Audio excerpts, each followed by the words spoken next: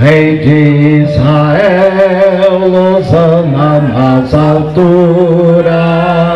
todos, Osana, o filho de Davi, bendito que vem em nome do Senhor.